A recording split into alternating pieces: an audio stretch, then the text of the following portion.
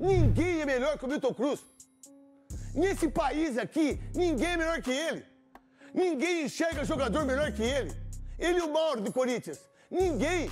E esse menino Rafael, agora que era do Sport TV, que tá no Botafogo. Mas o Milton Cruz, há 20 anos. O São Paulo tem título mundial graças ao Milton Cruz. O São Paulo tem título brasileiro graças ao Milton Cruz. Que por trás ele vai ajeitando aqui, ele vai vendo aqui, ele vai. Ele foi quase trucidado pela diretoria do São Paulo, pela torcida, e esqueceram ele. Aí veio ele, veio Murici, o Júnior veio,